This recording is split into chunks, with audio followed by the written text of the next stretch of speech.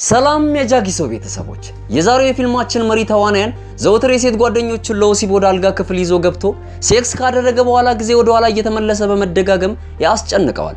በዚህም የተነሳ ዘወትር ከእንቅልፉ ሲነቃ ሲያወጣቸው የነበሩ ሴቶች አጠገቡ አይገኙም። ብቻውን ራሱን በራሱ ሲያስደስት ነበር የሚነቃው።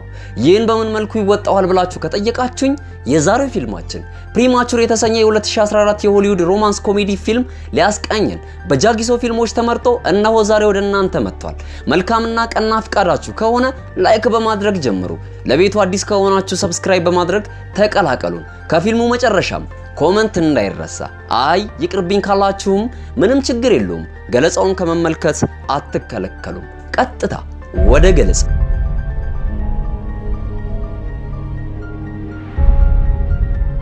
ፊልማችን ሲጀምር ሮ የተሰኘው የፊልሙ መሪ ተዋናያን በህልሙ በሚያያት ሴት ራሱን በራሱ ሲያረካ በመኝታ ክፍሉ እንመለከተዋለን። እናቱም የመኝታ ክፍሉን ስትከፍት ከእንቅልፉ ይባንናል። ነገር ግን ምን ሲፈጽም እንደነበረ አውቃበታለች። ዛሬ ሮ አንድ አስፈላጊ ቃለ መጠይቅ አለበት። አባቱ ወደ አንድ ታዋቂ ኮሌጅ ሊያስገባው ይፈልጋል። ሚስቱም በዚያ ስለሆነ ያገኛት ልጁንም መልካም እድል በህይወቱ እንዲገጥመው የዛሬውን ቃለ መጠይቅ ማለፍ አለብህ፣ ስኬት ከአንተ ጋር እንዲሆን ብሎ ጭንቅላት ላይም የሚታሰር ነገር ያጠልቅለታል። ለእሱ እስከ ዛሬ ማንም እድል ሰጥቶት አያውቅም። የዛሬው ግን በጣም አስፈላጊ ነበር። ከዚህ በኋላ ሮ በሳይክሉ ወደ ትምህርት ቤት እየሄደ ነበር። ስታርሊን ወደ ተባለው ጓደኛው ቤት ሲደርስ ሁለት ሴቶች ከዚያ ወጥተው ሲሄዱ ተመለከተ።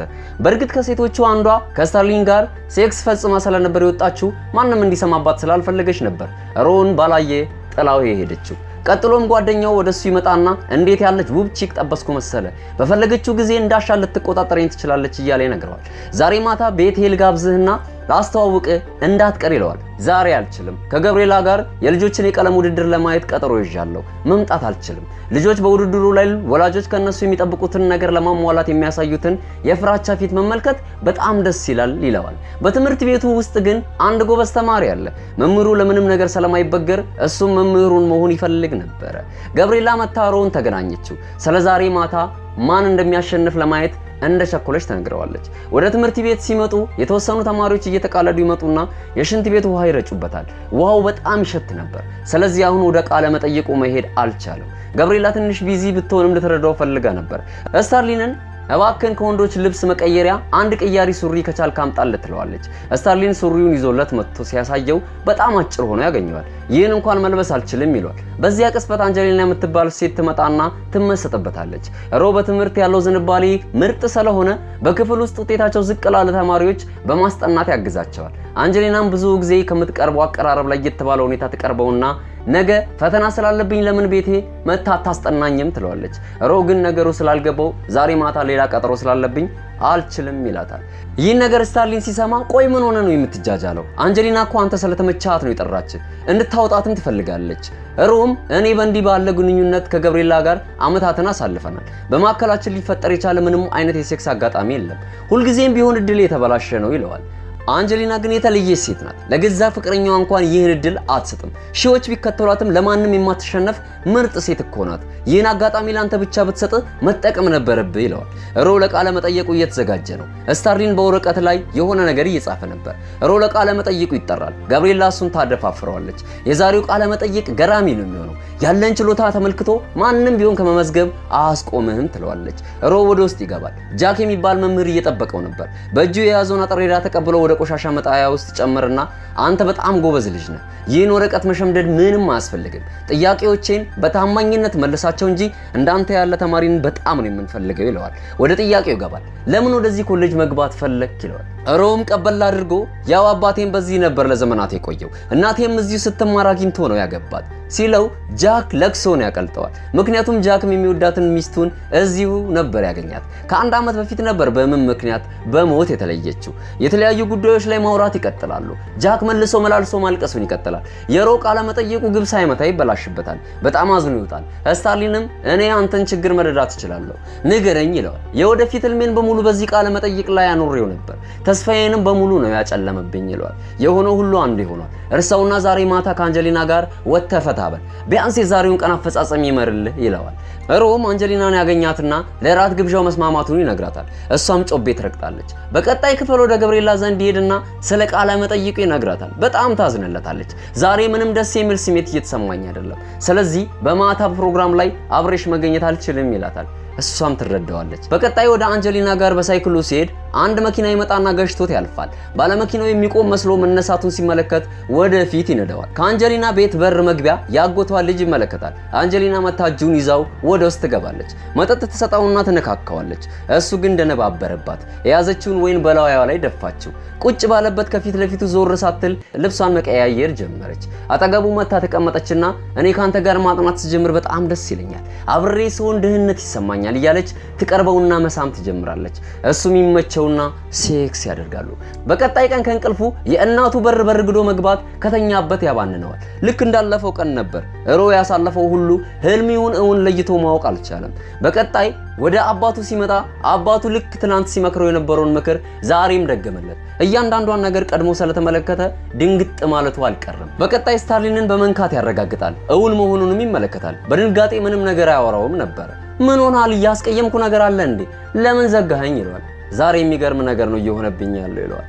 ትናንት በሱሪው ላይ የተከሰተው ክስተት በድጋሚ ተከሰተበት። ገብርኤላም ከወንዶች ክፍል ቅያሪ ሱሪ አምጣለት አለችው። ሮ ቀጣይ ምን ሊሆን እንደሚችል ቀድሞ ገመተ። በራሴ መታጠቢያ ክፍል ሌላ ሱሪ አለኝ፣ እሱን ለብሳለሁ አላት። እዚህ ጋር በድጋሚ አንጀሊና ትመጣለች። ቀጥሎም ወደ ቃለ መጠይቁ ሊገባ ሲሄድ ገብርኤላ ከበር እየጠበቀችው ነበር። ቀድሞ የሆነው ቃለ መጠይቅ ዛሬም በድጋሚ ይከሰታል።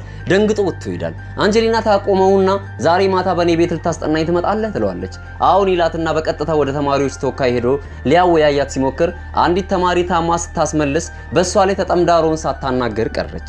ለገብርኤላ የዛሬውን ፕሮግራም መሰረዙን መናገር ረስቶት ነበር። ቀጥሎም ወደ አንጀሊና ቤት በሳይክሉ እየሄደ ሳለ እንደ ቀድሞ መኪናው ይመጣና ገጭቶት ያልፋል። ወደ አንጀሊና ዘንድ ይሄድና ሴክስ ያደርጋል። ይህም እንደገና ወደ ኋላ ይመለስና ነገሮች በሙሉ በድጋሚ እየተከሰቱ ግራ ያጋባው ጀመረ። ሮ በሱ ላይ ምን እየተፈጠረ እንዳለ ማወቅ አልቻለም። በቀጣይ scene ስታርሊን ከፍቅረኛው ጋር ነበር። ሁለታችንም በፍቅር ግንኙነት ውስጥ ነው ያለነው። በትምህርት ቤት ውስጥም እጄን ይዘሽ መታየት ትችይ ነበር፣ ነገር ግን አንቺ ይህን ማድረግ አትፈልጊም ይላታል። እሷም ልክ ነህ እኔ በትምህርት ቤት ውስጥ ማንም ከአንተ ጋር ፍቅር መጀመሬን እንዲያውቅብኝ አልፈልግም ብላ ትነግረዋለች። ሮው ለጭንቀቱ መፍትሄ ጥየቃ በቀጥታ ወደ ክፍላቸው ይመጣል። የገጠመውን ሁሉ ተራ በተራ አድርጎ ይነግረዋል። ስታርሊንም አንተማ ወደ ሳይኮሎጂ ሐኪም ዘንድ መሄድ አለብህ ይለዋል። የስታርሊን ፍቅረኛ ምክር ቢጤ ስትሰጠው ቁንጅናዋ ይመስጠውና እሷንም እያሰበ ራሱን ሲያረካ አሁንም ነገሮች መደጋገሙን ይቀጥላሉ። ምን እየተካሄደ እንዳለ ምንም ስላልገባው ወደ ኢንተርኔት በመግባት ችግሩን search ያደርጋል። መፍትሄው ላይ ገና ከመድረሱ አሁንም ሁኔታዎች ወደ ኋላ ይመለሱና ይደጋገማሉ። በቀጣይ ክፍል ሮ ወደ ትምህርት ቤት ሄዶ ገብርኤላን ሲገናኝ እነዛ ልጆች ሱሪው ላይ የሽንት ቤቱን ውሃ ይደፉበታል። ምርጫውን ተቀብሏቸው ይሰባብረውና በንዴት እናንተ ቆሻሾች ሁላችሁም ጌ ስለሆናችሁ በሽንት ቤት ውስጥ የምታደርጉትን ነገር እንዳይታወቅባችሁ ስለምትፈልጉ ቀልድ በማስመሰል እንዲህ ታደርጋላችሁ ይላቸዋል። እንዲሁ የመጣለትን ነበር በንዴት የዘባረቀው። ነገር ግን ከማካከላቸው አንዱ የእውነት ጌ ነበር። እስቲ ያልከውን ድገመው እያሉ ወደ እሱ ሊመቱት ሲጠጉ ሮ በሩጫ አምልጧቸው በአንድ ክፍል ውስጥ ይደበቃል። እነሱ እንዳይዙት በማለት ክፍሉን በራሱ ላይ ይቆልፋል። በድጋሚ ሲነቃ አሁንም ድጋሚ ነበር ነገሮች የተከሰቱት። ተነስቶ ወደ ኩሽና ሲመጣ አባቱ ታሪክ ይነግረዋል። ሮ መልሶ አባዬ አንተ በዛ ተምረ እናቴን ስላገኘ ህይወት የተሳካ ነው ብለ ተቀብላል። እኔ ግን ለየት ያለ ነገር ስለምፈልግ እንደዚህ አትጠብቅ ይለውና ወጥቶ ወደ ትምህርት ቤት ይሄዳል። ስታርሊን ስለ ሴቶች ተመስጦ እያወራለት ነበር። ሮ ቀበል አድርጎ ይኸውልህ በምድር ላይ ከሴቶች ሌላ ደስታ የሚሰጥ ነገር እንዳለ ማወቅ አለብን ይለዋል። ስታርሊን ይህን ሲሰማ ሮ አሁን ጤነኛ ይሆናል መሰለህ አለው። በዛሬው ቀን ያለ ሴቶች ፈታ ማለት ስለሚፈልግ የጎልፍ መጫወቻውን ይዞ አዳራሹ ውስጥ ይገባል። የተማሪዎች ተወካዩም ያስቆመዋል። ሮም አንተ እኮ ገራሚ ስልጣን ነው የተሰጠህ፣ ይህን ደግሞ ለመልካም ነገር መጠቀም ትችላለህ ይለዋል። በዚህ አጋጣሚ አንዲት ሴት ተደብቃ ልትወጣ ስትል ያስቆማትና አንቺ እሱን ከሳምሽው ጉዳይሽ ከማንም ጋር አይደርስም ይላታል። ይህን ሲናገር ጋብሪኤላ ወደሱ ትመጣለች። ከኪሱ ሲጋራ ያወጣና ተያይዘው ባስ ውስጥ ገብተው ያጨሱታል። ቀጥለው የልጅነት ታሪካቸውን አንስተው መጨዋወት ይጀምራሉ። ከልጅነት እስከ እውቀት ድረስ አብረን ነን ነገር ግን እንዴት ተገናኘን ብሎ ይጠይቃታል። ያኔ ልጅ ሳለው ትምህርት ቤት ስመጣ ማንም ሰው አብሮኛ አይሆንም ነበር፣ አንተ ግን ቀርበ ጓደኛ ይሆንከኝ። ይኸው ከዚያ ቀን ጀምሮ በምናደርጋቸው ነገሮች እንኳን መለያየት አልቻልንም ትለዋለች።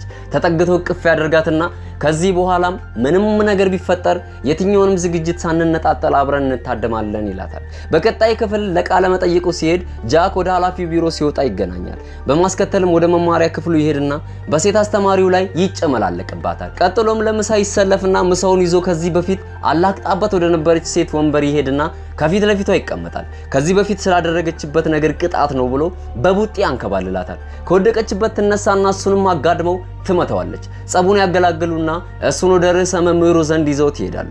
ርዕሰ መምህሩም አንተን ከዚህ ወስዶ እንዲያስሩልን ፖሊሶችን ጠርተናል፣ መጥተው ይወስደዋል። ይህ ለአንተ አሳዛኝና ከባድ ነገር ነው ይለዋል። ሮ ይህም እንደ ቀድሞ ወደ ኋላ ሄዶ እንዲደገምለት ፈልጎ ነበረ። ነገር ግን የርዕሰ መምህሩ ነገር እንደ ቀድሞ መሆን ሳይችል ቀረ። ከዚያ ወጥተው ሲሄድ ከፊት ለፊቱ ቀድሞ የተጣላት ሴት ድቅነት ልበታለች። ቀድማ ከማጥቃቷ በፊት ስታርሊን ይመጣና በቦርሳው ፊቷን መቷት ያድነዋል። በዚህ ሰዓት በትምህርት ቤቱ ፖሊስ ደርሰው ነበር። በፍጥነት ወደ ሴቶች ልብስ መቀያየሪያ ይሄደው ይደበቃሉ። ሮን የምትፈልገው ሴት ያለበት ድረስ ትመጣና በቆመበት በኃይል ብልቱ ላይ ትመተዋለች። ቀኑ ድጋሚ ወደ ኋላ ይመለሳል። በቀጣይ ሮ ወደ ትምህርት ቤት ሲመጣ በጣም ተደብሮና አስጠልቶት ነበር። ገብርኤላ ትመጣና ስለ ዛሬው ማታ ቀጠሯችን ምን ታስባለህ ብላ ትጠይቀዋለች። ሰረዝኩት እኮ ይላታል። እንዴት እንዲህ በቀላሉ ሰረዝኩት ትለኛለህ ብላ ታኮርፋለች። ሮ ምንም ግን ግድ አልሰጠውም ነበር። ስታርሊን አንተ ዛሬ በጣም ተደብረሃል፣ ስለዚህ ወጣ አድርጌ ማዝናናት አለብኝ፣ ምክንያቱም ዛሬ ወሳኝ ቀጠሮ ነው ያለብህ ይለዋል። ቆይ አንተ ሁልጊዜ ለምንድን ነው እንዲህ የምትሆንልኝ ብሎ ይጠይቀዋል። እንዴ አንተ እኮ ምርጡ ጓደኛዬ ነህ ስለዚህ ከዚህ በኋላ ይህንን እያደረግኩ ነው አብሬህ መቆየት የምፈልገው ይለዋል። ሮ በደስታ እቅፍ ያደርገዋል። በድጋሚ አንጀሊና ማታ በቤቴ አስጠናኝ ልትለው ትመጣለች። ቀጥሎም ለ interview ወደ ክፍል ሲሄድ እንደ ቀድሞ ገብርኤላ ከእሱ ጋር ሳትሆን ትቀራለች። ቃለ መጠይቁ ላይ ቀርቦ ሲጠየቅ ምንም ደስተኛ መሆን አልቻለም ነበር። ጃክም አንተ ለትምህርት ቤታችን ምርጥና ብቁ ነህ ስለዚህ በፍጹም እንዲያዝነ አንተን መመልከት አንፈልግም ይለዋል። ማታ ላይ አንጀሊና ቤት መሄዱን ትቶ ገብርኤላን ለመገናኘት ወደ መኖሪያ ቤቷ ያመራል። እስከ ዛሬ ድረስ በሱ ላይ የተፈጠረውን በሙሉ እያንዳንዱን ችግር ይነግራታል። እሷም ካዳመጠችው በኋላ የነገርኸኝ በሙሉ የእውነት በአንተ ላይ እየተካሄደ ከሆነ ነገ ተመልሰ መጥተህ ስለ አብርሃም ሊንከን ያየሁትን ህልም ንገረኝ ትለዋለች። ገብርኤላ ስለ አብርሃም ሊንከን አንድ ለየት ያለ ምስጢር ያለው ህልም አይታ ነበረ። ገብርኤላ ልትረዳው በማሰብ ወደ ትምህርት ቤታቸው ጎበዝ ተማሪ ይዛው ሄደች። ልጁም ሮውን ተመልክቶ የአእምሮ በሽተኛ መስሎት ታየው። ማውራት እንደጀመሩ የልጁ እናት ትመጣና አንተ ዝም ብለህ ቤታችን ውስጥ አስማተኛ ተማሪ ማምጣት የለብህም፣ ትንሽም ቢሆን ስለ አክስትህ ማሰብ አለብህ ትለዋለች። ሳይታሰብ አክስቱ ከጀርባው ትመጣና አንቃው ይዛ አስማተኛ አስማት እያለች መጮህ ጀመረች። በቀጣይ ትምህርት ቤት ውስጥ ልጁን ሲያናግረው ልጁ ምላሹ ደስ አይልም ነበር። ሮም እየተናደደ መጣ። ልጁም ሮጦ ሄዶ መታጠቢያ ክፍል ውስጥ ይደበቃል። ተከትሎት ሲሄድ መምህሩን ያገኘዋል። መምህሩም ልጁን ይጠላው ስለነበር የት እንደተደበቀ ያሳየዋል።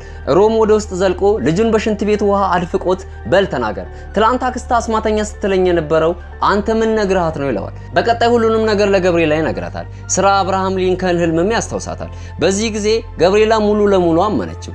ስታርሊን ይህን ሁሉ ነገር ከሰማ በኋላ አንተ ላይ የሆነ ችግር ተፈጥሯል። ስለዚህ ይህን ችግር ከመጀመሪያው ጀምረ መፍታት አለብህ ይለዋል። በመጀመሪያ ቀን ከአንጀሊና ጋር ወሲብ መፈጸሙን ለማረጋገጥ ይወስናል። በቀጥታ ወደ ክፍሏ ሄዶ በተማሪዎች ፊት አንጀሊናን ዛሬ ማታ አንቺ ቤት እመጣለሁ ይላታል። ገብርኤላም እንዴ ዛሬ እኮ ከኔ ጋር ነው ቀጠሮ ትለዋለች።